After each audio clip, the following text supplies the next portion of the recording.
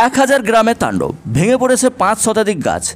ব্যাপক ধ্বংসযজ্ঞ চালিয়ে অন্য রাজ্যের দিকে ধেয়ে যাচ্ছে ঘূর্ণিঝড়টি। এই মুহূর্তে ঘূর্ণিঝড়টির অবস্থান কোথায় রয়েছে? কত কিলোমিটার বেগ রয়েছে বাতাসের? কোন রাজ্যে ধ্বংসলীলা চালিয়ে কোন দিকে ধেয়ে যাচ্ছে এই ভয়ঙ্কর বিধ্বংসী ঘূর্ণিঝড়? কোথায় কোথায় ধ্বংসযজ্ঞ চালিয়েছে এই ভয়ঙ্কর বিধ্বংসী ঘূর্ণিঝড়? দর্শক, বিস্তারিত তথ্য পেতে হলে অবশ্যই ভিডিওটিকে সম্পূর্ণ দেখবেন এবং ভিডিওটিকে শেয়ার করবেন। আর এই ধরনের লেটেস্ট স্ট্যান্ডিং আপডেট সবার প্রথম পাওয়ার জন্য চ্যানেলটিকে সাবস্ক্রাইব করে পাশের বেলাইকনটি প্রেস করে অল নোটিফিকেশনটিকে ক্লিক করে আমাদের সঙ্গে থাকবেন। তো চলুন, এক নজরে দেখে নেওয়া যাক। আরব সাগরে সৃষ্টি অতিপ্রবল ঘূর্ণিঝড় বিপর্যয় আঘাত এনেছে ভারতের গুজরাট উপকূলে। উপকূলে আশ্রয় পড়ার সময় রাজ্যটিতে ব্যাপক ধ্বংসযজ্ঞ চালিয়েছে ঘূর্ণিঝড়টি। রাজ্যটিতে পাঁচ শতাধিক গাছ ভেঙে পড়েছে।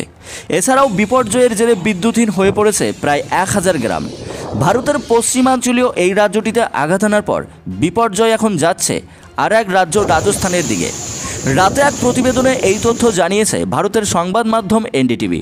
প্রতিবেদনে বলা হয়েছে, গুজরাটে অতি তীব্র ঘূর্ণিঝড় বিপর্যয় আঘাত আনার পর বৈদ্যুতিক খুঁটি ও গাছ উপড়ে পড়েছে রাজ্যটিতে।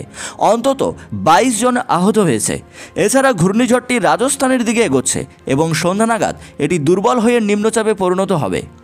ভারতীয় হাওয়া অফিসের বুলেটিনে বলা হয়েছে, গভীর রাত আড়াইটার সময় বিপর্যয় নালিয়া থেকে 30 কিলোমিটার উত্তরে সৌরাষ্ট্র কচ্ছ অঞ্চলে কেন্দ্রভূত ছিল। এটি আরও উত্তর পূর্ব দিকে সরতে থাকবে এবং ভোরে দুর্বল হয়ে সাইক্লোনিক স্ট্রমে পরিণত হবে।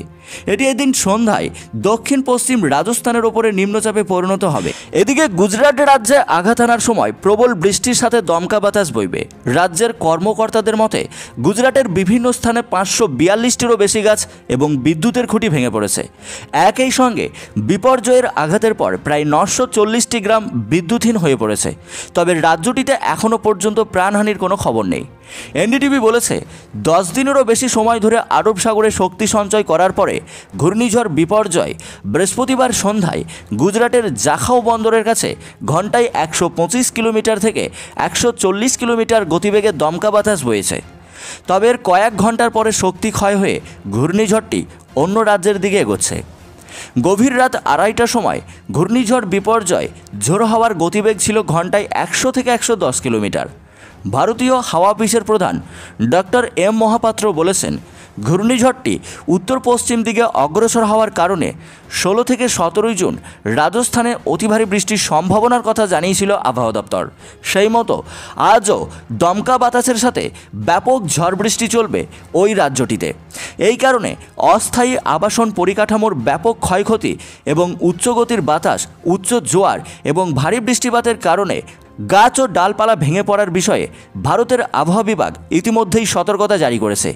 এর আগে ভারতীয় প্রধানমন্ত্রী নরেন্দ্র মোদী গুজরাটের মুখ্যমন্ত্রী ভূপেন্দ্র প্যাটেলের সাথে ফোনে কথা বলেছেন। ঘূর্ণিঝড় স্থলভাগে পরিস্থিতি পর্যালোচনা করেছেন তিনি। এই সময় গিরবনের সিংহসহ অন্যান্য প্রাণীদের সুরক্ষার ব্যবস্থার সম্পর্কেও জিজ্ঞেস করেছেন প্রধানমন্ত্রী। গুজরাট সরকার জানিয়েছেন, ঘূর্ণিঝড় বিপর্যয়ের আঘাতের আগে উপকূলীয় এবং নিচু এলাকা থেকে চুরানব্বই হাজার মানুষকে নিরাপদ আশ্রয়ে সরিয়ে নিয়ে যাওয়া হয়েছে। ঘূর্ণিঝড়ের প্রভাব পড়েছে ট্রেন পরিষেবাগুলিতে। এছাড়াও আগামীকাল পর্যন্ত মাছ ধরার কার্যক্রম স্থগিত রাখতে বলা হয়েছে। বন্ধ রয়েছে বিমানবন্দর, দ্বারকাধীশ মন্দির এবং গিরি সোমনাথ জেলার সোমনাথ মন্দির বৃহস্পতিবার ভক্তদের জন্য বন্ধ রাখা হয়েছিল। এর পাশাপাশি গুজরাটের জামনগর বিমানবন্দরের বাণিজ্যিক কার্যক্রম বন্ধ রাখা হয়েছিল। বিমানবন্দর কর্তৃপক্ষ জানিয়েছে জরুরি পরিস্থিতিতে বিমান পরিচালনা করা হবে। প্রয়োজনে ডিজেল ও পেট্রোল মজুত করা হয়েছে। তো এই ছিল আবহাওয়া দপ্তরে দেওয়া লেটেস্ট আপডেট ভিডিওটি ভালো লাগলে একটি লাইক করবেন। আর এই ধরনের লেটেস্ট স্ট্যান্ডিং আপডেট সবার প্রথম পাওয়ার জন্য চ্যানেলটিকে সাবস্ক্রাইব করে পাশে বেলাইকনটি প্রেস করে অল নোটিফিকেশনটিকে ক্লিক করে আমাদের সঙ্গে থাকবেন।